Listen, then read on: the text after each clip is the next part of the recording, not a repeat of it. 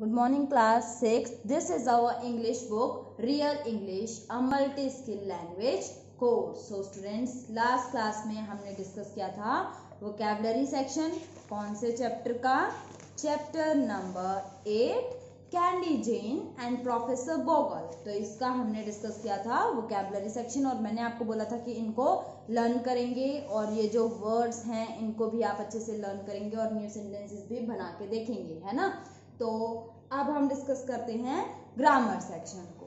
तो यहाँ हम क्या डिस्कस करेंगे? आर्टिकल्स आर्टिकल क्या होता है?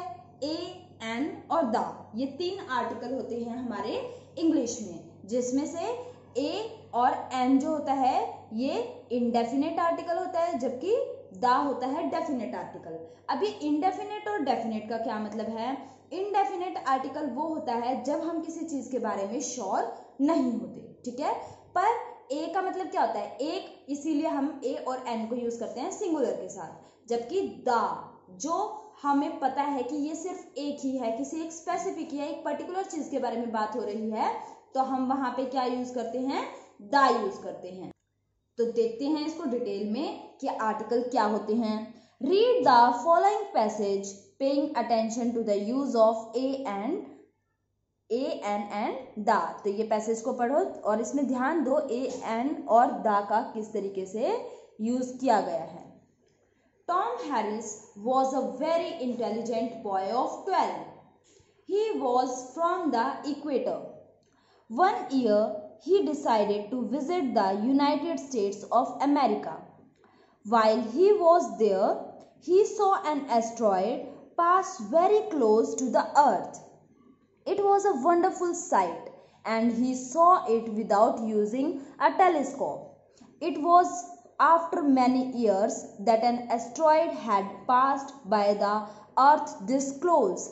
It was this clear because its path was closer than the position of many telecommunication satellites. A scientist at the Montgomery Observatory explained the uniqueness of this event as one of the rare events since they occur only once in approximately a thousand years. When Tom Harris heard this news later, he was very glad that he could be a witness to such an event. तो ये थी हमारी आ, हमारा article अब हम इसको ध्यान से देखते हैं दोबारा से इस पैसेज को Tom Harris was a very intelligent boy of twelve तो टॉम हैरिस एक बहुत ही बुद्धिमान बच्चा था, केवल बारह वर्ष का। अ वेरी अ यूज़ हुआ। एक एक के लिए हमने यूज़ करा वेरी ठीक है? एक चीज़ और समझेंगे आर्टिकल के बारे में। ए ई आई ओ यू ये सब क्या है? आप सभी को पता है, आप सभी कह दोगे, मैम, ये है वॉल्स और इसके अलावा जितने भी अल्फ़ाबेट बच गए, वो सब क्या है हमारे कॉन्सोनेंट्स है ना? तो वॉल्स के साथ हम क्या यूज़ करते हैं? जहाँ भी आया वाउल वाउल साउंड आ गया तो हम यूज़ करेंगे एन इनके साथ हम यूज़ करेंगे एन और जब आया इनके अलावा कोई भी साउंड तो उसके साथ हम यूज़ करेंगे अ, ठीक है? ए और एन का यूज़ करने का तरीका क्या रहेगा? जब वाउल का साउंड आएगा, ज़रूरी नहीं है कि ए लिखा है तो हम एन ही लगाएँ, ठीक है? बट यू लिखा है तो ज़रूरी नहीं है एन लगाएँ। बट साउंड यू य का साउंड होना चाहिए तो हम एन लगाएँगे। क्लियर है? तो देखते हैं। तो वेरी इंटेलिजेंट यानी कि बहुत बुद्धिमान बचा था तो अ लगाया हमने साथ में। He was from the equator अब हमने द क्यों लगाया? क्योंकि इक्वेटर एक ही है। अर्थ को बीच से जो कट करती है लाइन वो इक्वेटर होती है। तो वो कहाँ से था? इक्वेटर से। और हमें क्लियरली पता है इक्वेटर कहाँ है। इसीलिए हम क्या यूज़ करेंगे? दा, जो चीज़ सर्टेन है फिक्स है डेफिनेट है, उसके साथ हम दा यूज़ करते हैं। One year he was decided to visit the United States of America.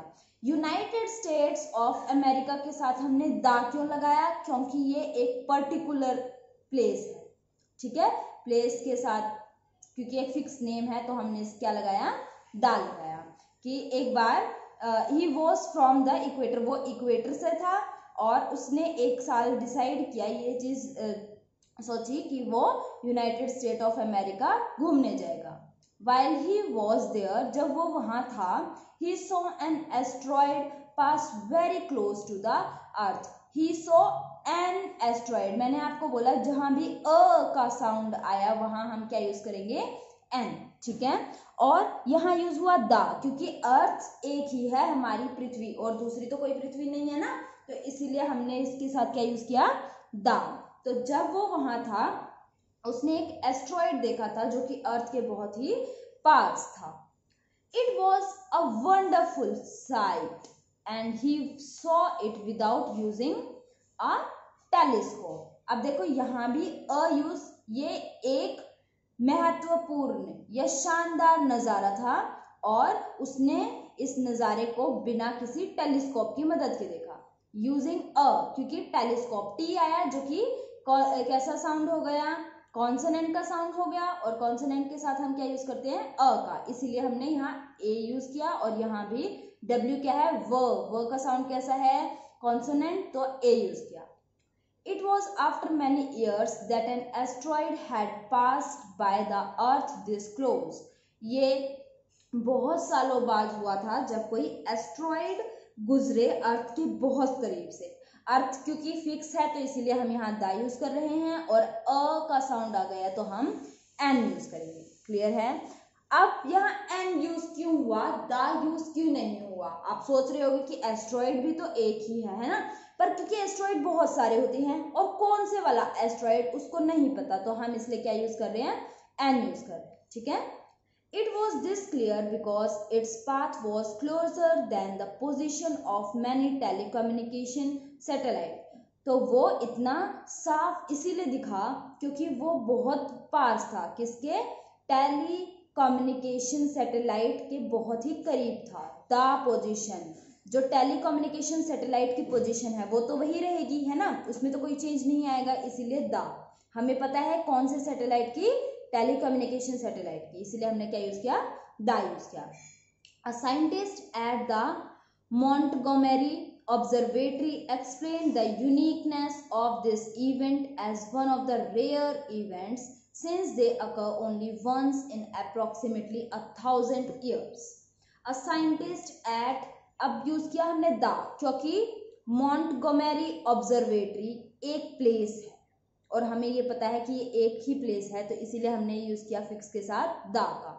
Explain the uniqueness ये यूनिक चीज़ हो गई, जो अपने आप में ही यूनिक है, उसके साथ हम क्या यूज़ करते हैं? द यूनिक चीज़ों के लिए, ठीक है? जो फिक्स है। तो एक साइंटिस्ट जो कि कहाँ का था? मॉन्टगोमेरी ऑब्जर्वेटरी का, उसने ये चीज़ एक्सप्लेन करी the uniqueness of this event ये इवेंट कितना यूनिक था, यानी कि रेगुलर नहीं था, पहली बार हुआ था। As one of the rare events जो कि रेयर इवेंट्स में से जो कभी कभार हो, ऐसे इवेंट्स में से एक था। तो रेयर जो चीज़ कभी कभार हो, और वो सर्टेन ही होगी, जो कभी कभी होगी, जो चीज़ रोज होगी, वो तो सर्टेन नहीं हो जाएगी, है ना? तो इसीलिए हम यहाँ यूज़ कर रहे हैं the since they occur only once in approximately a thousand years क्योंकि वह अपियर होते हैं, दिखाई देते हैं हज़ारों सालों में एक बार। थाउज़ेंड ईयर्स के साथ इसीलिए अ यूज़ किया। अ एक बार यूज़ करना था हमें तो अ, ठीक है? When Tom Harris heard this news letter जब टॉम हैरिस ने इस न्यूज़ लेटर के बारे में सुना he was very glad that he could be a witness to such an event तो वो बहुत खुश हुआ, उसको बहुत गर्व हुआ कि वो एक गवाह बन सका इस इवेंट का। तो यहाँ वी वी का साउंड आ गया है ना? विटनेस तो अ यूज़ करेंगे और ई e का साउंड आया इवेंट ई तो यहाँ पे हमने एन यूज़ किया। क्लियर है? You are familiar with the use of a an and the तो आपको पहले ही आपने ए एन और द के बारे में सुना होगा, कैसे यूज़ करते हैं, ये भी पढ़ा होगा। They are the articles in English ये इंग्लिश के आर्टिकल्स हैं. A and an are called the indefinite article तो ये हमने ऑलरेडी डिस्कस कर लिया है कि ए और एन इनडेफिनेट आर्टिकल्स हैं और द डेफिनेट आर्टिकल कहलाता है. ठीक है? अब हम देखते हैं use of a and an कि ए और एन का हम यूज़ कहाँ कहाँ करते हैं. वी यूज़ ए और an before singular countable nouns when it is not important for us to know which particular thing or person we are talking about. तो हम यूज़ करते हैं ए और एन का सिंगुलर काउंटेबल नाउन के आगे। जब हमें ये ना पता हो या ज़रूरी भी ना हो पता करना कि हम किसके बारे में बात कर रहे हैं या किस चीज़ के या किस आदमी के कोई, ठीक है, हम किसी के बारे में बात कर रहे हैं, पर उसका जानना इतना ज़रूरी ना हो, या वो बहुत कोई फ़ेमस चीज़ ना हो, कोई एक ही चीज़ ना हो काउंटेबल हो तो हम यूज़ करते हैं ए और एन का। For example why he was there he saw an asteroid pass very close to the earth तो ये इस पैसेज में से ही लाइन ली है। जब वो उसके बहुत पास था he was an he saw an asteroid तो उसने एक एस्ट्रॉइड देखा अपने पास धरती के पास से गुजरता हुआ। तो हमने यहाँ यूज़ किया an Tom Harris saw an asteroid and he did not know that it was a special asteroid until later तो टॉम हैरिस ने एक एस्ट्रॉइड देखा था और उसको नहीं पता था कि वो इतना खास एस्ट्रॉइड है, बाद तक नहीं पता चला था। तो इसीलिए वो एन यूज़ करेंगे, ठीक है? वहाँ पे, क्योंकि वो एक फिक्स चीज़ नहीं थी, एक सर्टेन चीज़ नहीं थी, कोई भी एस्ट्रॉइड ठीक है? एक एस्ट्रॉइड देखा तो इसलिए वहाँ पे क्या यूज़ किया है? एन जब उस एस्ट्रॉइड का नाम पता होता उसे तो एक पर्टिकुलर हम दा यूज़ कर लेते हैं। It was a wonderful sight तो a wonderful sight it was one of the wonderful sights में से एक थी वो, इसीलिए हमने अ यूज़ किया। We use a before words beginning with consonant sound तो जो वर्ड शुरू होते हैं कॉन्सोनेंट साउंड के, उनके आगे हम यूज़ करते हैं ए का और and an before words beginning with vowel sound तो जहाँ वाउल साउंड आता है, वहाँ हम यूज़ क्या करते हैं? एन यूज़ करते हैं। अ विटनेस एन इवेंट तो वे वी का साउंड आया तो हमने क्या यूज़ कर दिया? ए यूज़ किया। ई का साउंड आया, अ ई तो हमने यूज़ करा एन क्लियर है यहाँ तक? आगे डिस्कस करते हैं। वी चूज़ ए और an based on the sound the next word begins with तो हम ए और एन को किस हिसाब से चूज़ करते हैं? जो नेक्स्ट लेटर का साउंड होता है साउंड के बेसिस पे। And not the letter letter नहीं देखेंगे कि ए ई आई ओ यू में से आया या कुछ और है। हम किस चीज़ का ध्यान देखेंगे कि उसका साउंड कैसा है? So we have examples like तो हमारे पास कुछ एग्ज़ाम्पल है, जैसे एन ऑनेस्ट गर्ल तो एन हमने यूज़ किया एच के साथ, पर साउंड कैसा आ रहा है? ओ का साउंड आ रहा है. ऑनेस्ट बोलते हैं हॉनेस्ट नहीं बोलते हम इसे, ठीक है? अब देखो, एक चीज़ और एन आर हम इसे आर बोलते हैं. हार नहीं बोलते हावर नहीं बोलते, है ना? तो साउंड कैसा है? साउंड के हिसाब से डिपेंड करेगा कि हम एन यूज़ करेंगे या ए यूज़ करेंगे। An M P M P तो आप कहोगे कि एम यूज़ किया है। एम के साथ ए आना चाहिए था, पर एम पी ए का साउंड आया है। और ए का साउंड आया है तो हम क्या यूज़ कर रहे हैं? एन तो क्लियर है? देखो, यहाँ तीनों ही ऐसे वर्ड हैं जो कि अगर लेटर देखेंगे हम तो हमें लगेगा कि ये कॉन्सोनेंट साउंड है है ना? कि एच एच एम तो कॉन्सोनेंट के साथ हमने लगा दिया क्या? ए लगा दिया, पर नहीं, यहाँ पे इसका साउंड क्या है? Honest R M M M ठीक है ना? तो इस बेसिस पे हम यूज़ करेंगे आर्टिकल कौन सा आएगा? आगे चलते हैं, देखते हैं दा कहाँ कहाँ यूज़ होता है। We use the plus noun when we know that we are talking about a specific thing और पर्सन जब हम जानते हों कि हम किसी स्पेसिफिक थिंग या पर्सन के बारे में बात कर रहे हैं तो हम क्या यूज़ करते हैं? दा का यूज़ करते हैं नाउन के साथ. जैसे we also use the before इसके साथ साथ हम दा कहाँ यूज़ करते हैं? Name of rivers ocean and seas तो जैसे द नाइल नाइल रिवर के बारे में हमने पढ़ा भी है ना? द पैसिफिक तो ये ओशन है तो हमें जिनके बारे में पता हो जो एक फिक्स चीज़ हो जिसका एक वही मतलब जैसे बोला राम तो कोई भी राम हो सकता है। जब बोला भगवान राम तो वो एक ही हैं, है ना? तो इस हिसाब से। Point of the globe globe का कोई पॉइंट जैसे equator north pole south pole इस तरीके से, या फिर कोई जोग्राफिकल एरिया हो गया the Middle East the West the South इस तरीके से। Desert forest gulfs and peninsulas for example the Sahara the peninsular gulf the Black Forest the Iberian peninsula इस तरीके से, नाम जो कि स्पेसिफिक हो।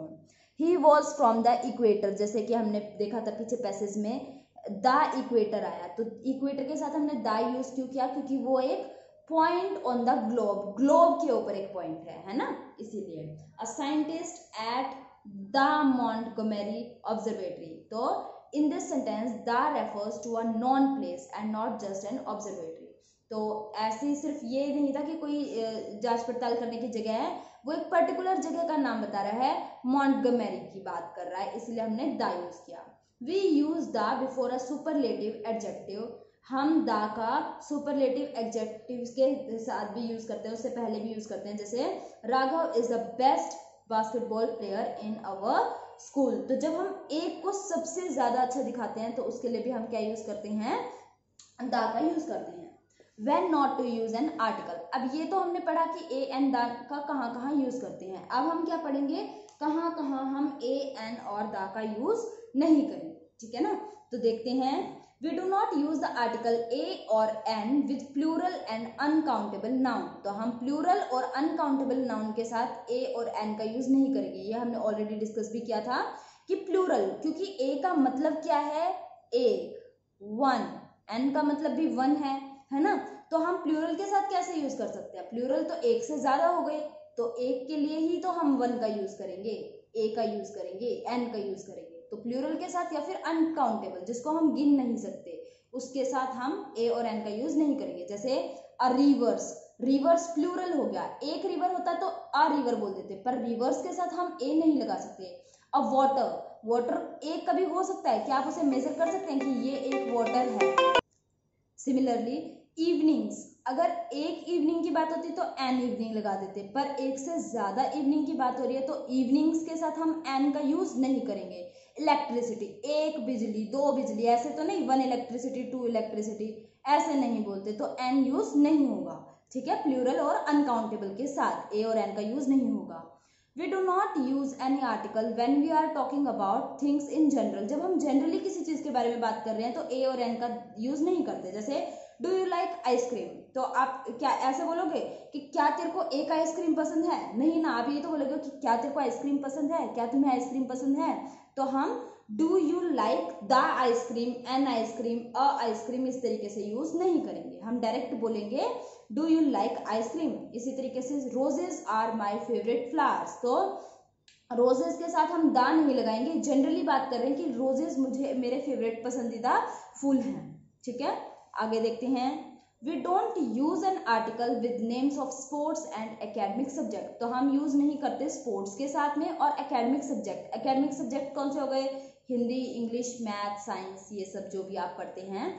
तो किसी भी स्पोर्ट्स के आगे और एकेडमिक सब्जेक्ट के आगे हम किसका यूज़ नहीं करते? आर्टिकल का यूज़ नहीं करते। जैसे Sudhir is good at the chess the chess नहीं आएगा सिंपल चेस यूज़ करेंगे but he failed the physics at school तो फिजिक्स के साथ भी द नहीं आएगा। तो सुधीर अच्छा है चेस में, पर वो फिजिक्स में फेल हो गया स्कूल में। तो हम डायरेक्ट बोलेंगे दा का यूज़ नहीं करेंगे या कोई भी आर्टिकल यूज़ नहीं करें। ठीक है? तो अब है एक्सरसाइज तो एक्सरसाइज देखते हैं। Use the appropriate article a an और द तो ए एन दा फिल करना है और मार्क करना है dash where no article is required जहाँ पे आर्टिकल की ज़रूरत नहीं है, वहाँ पे हम क्या मार्क कर देंगे? डैश यूज़ कर देंगे, ठीक है?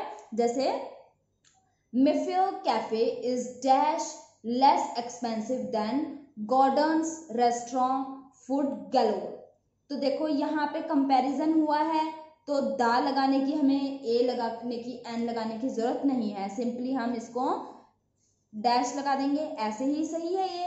मैकफेयर कैफ़े कम खर्चीला है। किससे कंपैरिजन में? गॉर्डन्स रेस्टोरेंट फ़ूड गैलोर के कंपैरिजन में। ठीक है? This lively cafe has dash two floor तो इसके दो फ्लोर है। सिंपल बात हो रही है तो टू के साथ हमें ए एन दा लगाने की ज़रूरत नहीं है। ठीक है? ऑन डैश फ़र्स्ट लेवल अब फ़र्स्ट लेवल की बात कर रहा है। तो फ़र्स्ट लेवल की बात करेगा तो ये स्पेसिफिक हो गया और स्पेसिफिक होते ही हमने क्या लगाया? दा लगाया। On the first level is where you can place your order तो फ़र्स्ट लेवल पे आप अपना ऑर्डर प्लेस कर सकते हैं। Dash choice of food is vast तो यहाँ खाने की चॉइस बहुत वैरायटी है, बहुत बड़ी है। फैलाव काफ़ी ज़्यादा है। तो काफ़ी वैरायटी का आपको खाना मिल जाएगा, काफ़ी चॉइसेस हैं। तो इसीलिए हम यूज़ करेंगे द, ठीक है ना? The choice of food is vast आगे देखते हैं। They serve many types of dash coffee and tea tea next page पे है। तो देखो, बहुत प्रकार की वो कॉफ़ी और टी क्या करते हैं? सर्व करते हैं। तो सिंपल बात है तो इसमें हम कोई भी आर्टिकल यूज़ नहीं करेंगे। तो डैश लगा देंगे सीधे, ठीक है? टी तक हमने डिस्कस कर लिया है। अब चलते हैं आगे। They have dash chicken sandwiches with a variety of seasoning तो उनके पास बहुत सारे चिकन सैंडविचेस की वेराइटी है सीजनिंग के साथ। तो सिंपल बात है तो हम डैश का यूज़ करेंगे यहाँ पे। विद के बाद हम क्या यूज़ करेंगे? अ बहुत, काफ़ी सारी चीज़ों में से एक की बात हो रही है तो हम इसलिए सॉरी अ का यूज़ करेंगे, ठीक है? For dash vegetarian they offer many type of dishes spring rolls vegetables sandwiches and pakodas तो यहाँ पे वो कह रहा है कि जो वेजिटेरियन लोग हैं, उनके लिए बात कर रहा है। तो कॉमन बात है, कोई खास बात नहीं है तो हम यहाँ भी आर्टिकल का यूज़ नहीं करेंगे। फॉर वेजिटेरियन वेजिटेरियन को वो क्या क्या ऑफ़र करते हैं? बहुत तरीके के पकवान, जैसे कि स्प्रिंग रोल वेजिटेबल सैंडविचेस और पकौड़ा इस तरीके से, ठीक है? For dash dessert you can choose from patties fours petits fours to pastries of different flavours तो यहाँ पे हम क्या यूज़ करेंगे? वो कह रहा है कि फॉर डेजर्ट अब डेजर्ट की चॉइस बता रहा है मीठे में। तो फॉर दा यूज़ कर देंगे, है ना? एक पर्टिकुलर चॉइस के बारे में बता रहा है तो हमने क्या यूज़ किया? दा यूज़ किया। आगे सिंपल है सेंटेंस कि पैटी पैटी फोर से लेके पेस्ट्रीज तक बहुत वेराइटी में मटेरियल अवेलेबल है डेजर्ट अवेलेबल है और डिफरेंट फ्लेवर्स में अवेलेबल है। नेक्स्ट सेंटेंस देखते हैं। Dash menu changes every alternate day तो हर दूसरे दिन जो मेन्यू है वो चेंज होता है। तो इसीलिए हमने मेन्यू की बात, एक पर्टिकुलर चीज़ वहाँ का मेन्यू क्या है, उसके बारे में बात कर रहे हैं। इसीलिए हमने क्या यूज़ किया? दा यूज़ किया। ठीक है? नेक्स्ट देखते हैं। Dash chefs of dash Mayfair cafe are very careful about maintaining dash quality of the food तो वहाँ के शेफ की बात हुई है पर्टिकुलर वहीं के शेफ तो इसीलिए हमने यूज़ किया द शेफ ऑफ़ और मेफेयर कैफ़े की ही बात कर रहे हैं तो हमें बार बार मेंशन करने की ज़रूरत नहीं है। Are very careful about maintaining क्या मेंटेन करने के लिए? वहाँ की क्वालिटी तो इसीलिए द यूज़ करेंगे the quality of the food ठीक है? आगे देखते हैं। डैश सेकेंड फ्लोर अब दूसरे फ्लोर की बात हो रही है तो एक पर्टिकुलर सेकेंड फ्लोर की बात हो रही है तो हम द यूज़ करेंगे। The second floor has nice cosy sitting arrangement तो सेकेंड फ्लोर पे क्या है? अच्छा खासा सिटिंग अरेंजमेंट है। There are dash sofas and dash bean bags to relax तो वहाँ क्या है? सोफाज हैं और बीन बैग्स हैं तो कुछ ऐसी बड़ी बात नहीं है। फिल नहीं करेंगे कुछ भी, ठीक है? There is also dash divan to sit on तो वहाँ पे एक दीवान भी है तो अ का यूज़ करेंगे, ठीक है ना? बैठने के लिए एक दीवान भी है। There is dash old juke box which plays music तो एक जूक बॉक्स भी है पुराना। ओ ओ का साउंड आया ए ई आई ओ यू ओ क्या होता है? वाउल साउंड है तो हम क्या यूज़ करेंगे? एन का यूज़ कर देंगे, ठीक है? एन ओल्ड जूक बॉक्स है, जो कि गाने बजाता है। There is dash big bulletin board where people can stick message तो एक बड़ा सा बुलेटिन बोर्ड है। तो अ यूज़ करेंगे, ठीक है? बी यानी कि ब का साउंड आया, जो कि कॉन्सोनेंट है तो हमने क्या यूज़ किया? अ। तो आगे चलते हैं। There is even computer where you can do your work तो कंप्यूटर भी है, वहाँ एक कंप्यूटर भी है, जहाँ पे आप अपना काम कर सकते हैं। तो क्या आ जाएगा? अ, क्योंकि यहाँ पे कैसा वर्ड है, ये कॉन्सोनेंट साउंड आ रहा है कंप्यूटर ठीक है? It's dash place where you can relax and meet your friend तो ये ऐसी जगह है जहाँ पे, ये एक ऐसी जगह है जहाँ आप अपने दोस्तों से मिल सकते हैं और रिलैक्स कर सकते हैं। तो इट्स आ प्लेस आ जाएगा, ठीक है? उसके बाद it's dash kind of place where you can go every day after work और स्कूल तो ये ऐसी जगह है इट्स द उस प्रकार की जगह है ये। तो एक फ़ेमस मतलब एक पर्टिकुलर प्लेस के बारे में बात हुई है कि ये उस जगह में से है जहाँ पे आप डेली जा सकते हैं, काम के बाद या फिर स्कूल के बाद, ठीक है? तो आई होप अब आपको क्लियरली समझ में आया होगा कि ए एन और दा का हम किस तरीके से यूज़ करते हैं। यहाँ भी हमें क्या करना है? ए एन एंड दा का यूज़ करना है इन ब्लैंक्स में। तो देखते हैं यू एन ऑफिशियल तो ऑफिशियल्स की बात हो रही है है ना? तो हम क्या यूज़ करेंगे? द. वहाँ के यूएन के ऑफिशियल की बात हो रही है तो the. C N N program एक प्रोग्राम है C N N program TV पे आता है न्यूज़ चैनल है ना? तो हम इसके साथ क्या यूज़ करेंगे? अ यूज़ करेंगे. एनडीटीवी रिपोर्टर एक एनडीटीवी रिपोर्टर की बात हो रही है तो एन न न का साउंड आया, यानी कि क्या यूज़ करेंगे हम? एन का साउंड कैसे आ रहा है यहाँ? एन एन एन है ना? तो अ का साउंड आते ही क्या हो गया? ये वाउल साउंड हो गया और इसके साथ हमने क्या लगाया? N N D TV reporter next देखते हैं डैश हिंदुस्तान टाइम्स तो हिंदुस्तान टाइम्स एक फ़ेमस न्यूज़पेपर है, एक पर्टिकुलर चीज़ है तो इसीलिए हमने इसके आगे क्या लगाया? द यूज़ किया, ठीक है ना? The Hindustan Times next dash x ray. एक एक्सरे की बात हो रही है तो हम यहाँ ए ए, एक्स एक्स, ए से साउंड स्टार्ट हो रही है इसका तो हम इसके यहाँ पे भी क्या यूज़ करेंगे? एन एक्स ठीक है? Next dash universal problem. य का साउंड आया यहाँ पे, है ना? तो हम यहाँ क्या यूज़ करेंगे? य के साथ अ का यूज़ करेंगे। आप ये नहीं देखेंगे कि यू दे दिया, U A E I O you देखते ही हम एन नहीं लगाएँगे। आप देखेंगे जहाँ भी हमने एन यूज़ किया है, वहाँ पे कैसा वर्ड है कॉन्सोनेंट है। एन से स्टार्ट हुआ एक्स से स्टार्ट हुआ। और जहाँ भी हमने ए यूज़ किया है यूनिवर्सल के साथ तो ये नहीं देखा हमने कि यहाँ फ़र्स्ट लेटर क्या है। हम ये देख रहे हैं कि इसका साउंड कैसा है। जैसे नेक्स्ट देखें तो H A double P Y happy baby है ना? पर एच क्या है? अगर आप कहोगे कि ये, हमने पीछे यहाँ देखा था एच एच के साथ हमने यूज़ किया एन पर ऐसा ज़रूरी नहीं है कि हमेशा एन आए। यहाँ पे कैसा साउंड है? कॉन्सोनेंट का साउंड है और कॉन्सोनेंट के साउंड के साथ हम क्या यूज़ करते हैं? अ यूज़ करते हैं, है ना?